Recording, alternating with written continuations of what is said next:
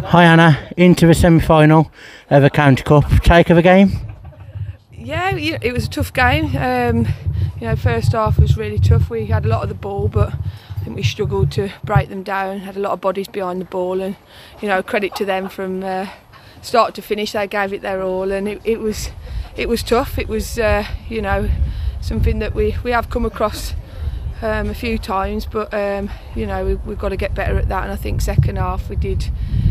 we, we stretched it and I think we uh, we were able to play a bit more football and, and get in behind a little bit more and the chances came but you know I think today full credit to them um, they battled from the start and made it really difficult for us so yeah but you know we're through to the to the next round to semi-final and that's that's uh, the important thing so yeah lots of things to take from the game.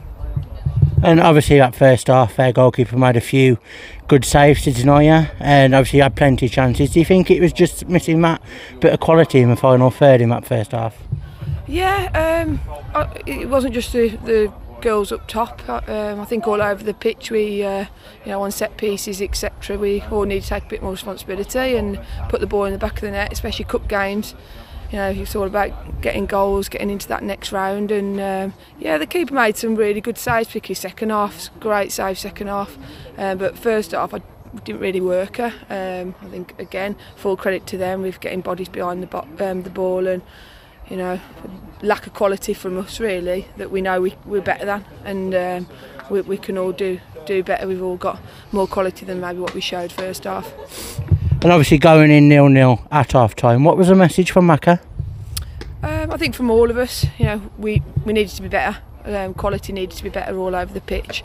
Um, we knew, you know, we had had a lot of the ball, like I say, but we hadn't worked the keeper. Um, we hadn't um, created things in behind, a few offsides, things like that. You know, we, we all needed to up it and we needed to take some responsibility. Um, so yeah, and, and we did. Obviously, in that second half, I brought on Tammy George.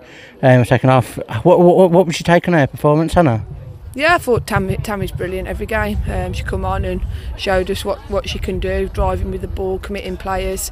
Um, I thought she moved the ball really well today as well, which was, was great. It needed to on, on, a, on a pitch that's slightly bobblier um, than normal with the weather. Um, we had to move the ball quicker and uh, Tammy did that really well alongside all the girls really you know. I don't think that was the problem really moving the ball today. It was um, first half was was creating that that final third chance and you know yeah Tammy was brilliant and second half we we created those chances. So you know really uh, really pleased to, to get through and like I said full credit to Knowle who kept going right to the end.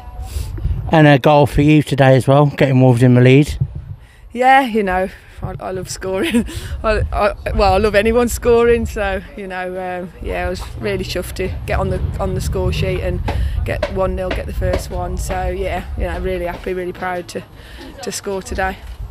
And obviously, in recent weeks, you've been suffering a lot through injury, suspensions, and COVID. Um, how great is it to finally get some of these players back? Yeah, definitely. Um, you know, it's not just us, so it's happening everywhere. You know, even top level. Um, male Premier League players. You know, it's, it's happening. There's COVID injuries. Uh, this this point of the season as well. Um, it naturally happens, and I think that's where we've got the strength and the depth in the squad, and we've got to all stick together. And when people get their opportunities, take them. Um, so yeah, it's been a tough tough few weeks, but you know, hasn't it for everyone? So yeah, we've got to got to dig deep and, and put performances out, whichever 11's playing, because everyone's good enough to be out there. And do you have a team who you want to play in the semi-final?